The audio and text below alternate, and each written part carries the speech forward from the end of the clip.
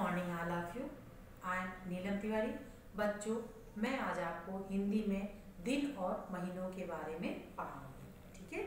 आइए, हम जानते हैं सबसे पहले ये जाने कि एक हफ़्ते में कितने दिन होते हैं, ठीक है?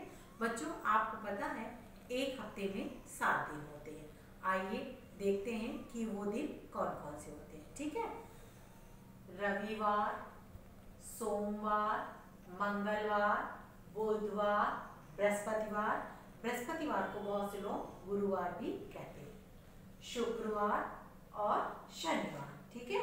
यानी कि एक तरीके से हम कह सकते हैं कि सात दिन मिलकर के एक हफ़्ता बनाते हैं या एक हफ़्ते में सात दिन होते हैं, ठीक है? अभी हमने आपको सात दिनों के बारे में बताया। अब हम आपको बारह महीनों के बारे में बताते हैं। एक साल में कितने महीने होते हैं? बारह महीने होते हैं। आइए हम उन महीनों को जानें। जनवरी, पहला महीना कौन सा होता है? जनवरी। फरवरी, मार्च, अप्रैल, मई, जून, जुलाई, अगस्त, सितंबर, अक्टूबर, नवंबर, दिसंबर। यानी कि दिसंबर हमारा साल का आखिरी महीना होता है। ठीक है? अभी हमने आपको बारह महीनों के बारे में बताया। आप आप ये जान लीजिए कि ये एक तरीके से हम ये कह सकते हैं कि बारह महीने मिलकर के एक साल बनाते हैं या एक साल में बारह महीने होते हैं।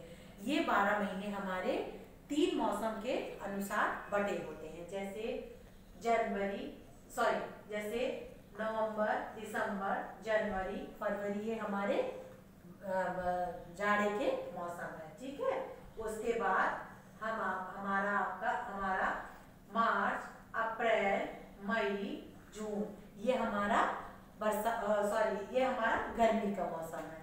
फिर जुलाई, अगस्त, सितंबर, अक्टूबर, ये हमारे बरसात के मौसम होते हैं। ठीक है? अभी हमने आपको दिन और महीनों के बारे में पढ़ाया।